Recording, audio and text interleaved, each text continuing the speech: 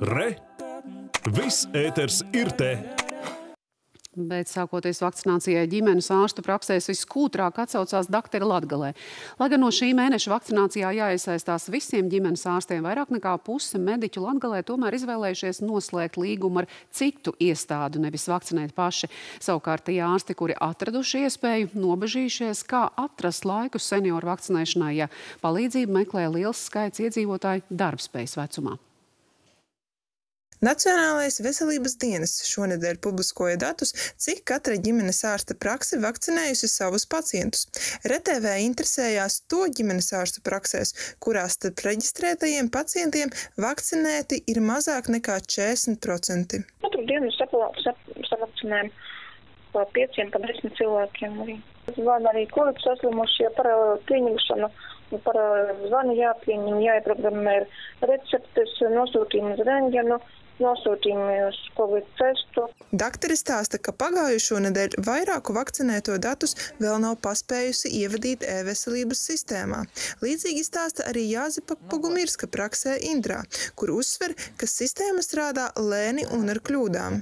Pat vēstule te bija viena man pabasta zem durvīm, jā, kas saka, vai jūs vakcinēt vai čipojat jautājums.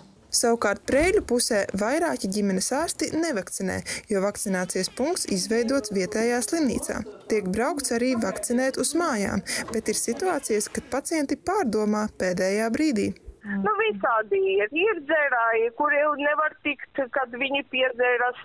Mums bija tā, ka piedzeras un nelaiž uh, darbiniekus. Jā, ir kuri pret, ļoti pret jā, nekā nevar viņu uzrunāt.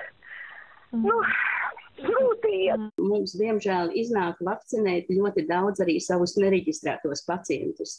Jo viņi vienkārši atnāk un lūdzās, ja, lūdzās ka viņiem ir jā, obligāti jāsavakcinējās, un, ka, un mēs, nu, jāsaka, cilvēcisku jūtu dēļ vienkārši viņiem neatsakam, bet līdz ar to paliek rindā atkal tieši mūsu, piemēram, seniori. Lauku ģimenes ārstu asociācijā uzsver, ka tie daktari, kuri vakcinē paši, ir ārkārtīgi noslogoti.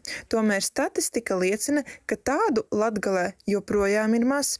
Šobrīd paši vakcinē 62, bet sadarbības līgumu ar citu vakcinētāju noslēgusi 91 prakse.